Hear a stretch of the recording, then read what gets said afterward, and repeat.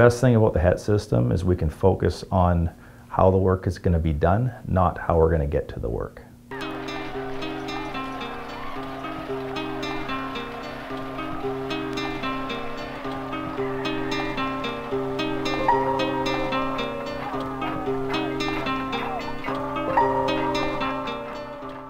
The HET system is comprised with an EC-135 helicopter chosen for its performance and the ability of a, a dual hook system which uh, incorporates a dielectric line of various lengths down to a harness that was accepted by Transport Canada and WorkSafe BC for all applications.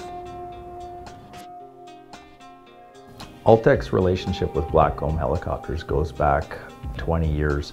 Uh, we've worked with Blackcomb Helicopters on many of our projects and they've always delivered. We don't differentiate between our guys and their guys. Essentially, it is one crew. Uh, we came upon the EC-135 for a bunch of different reasons. It's, uh, it's redundant safety systems, but the biggest part is it has a manufacturer's dual hook, which we went to for specific reasons for our HEC system, uh, working with, with Allteck for the, the work access.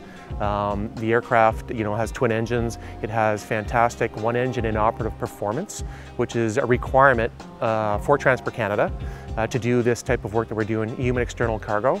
And uh, it works out really well performance-wise. As well, it has uh, the new technology, the FADEC systems for the engines, and is something that we wanted to move to uh, for, for future work with newer technology.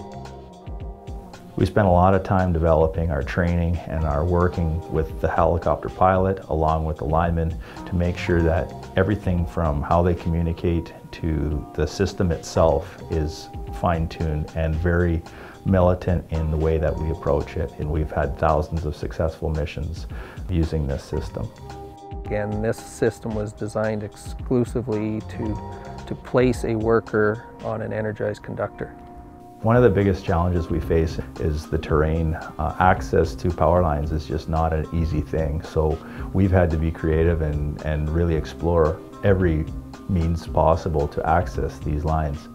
We're confident that this is the safest and most efficient system on the market.